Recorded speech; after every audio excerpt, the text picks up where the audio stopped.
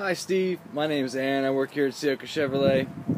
I'll be helping you out today with this 2007 Chevy Silverado extended cab. It is four-wheel drive and we are offering a 90-day or 3,000-mile warranty.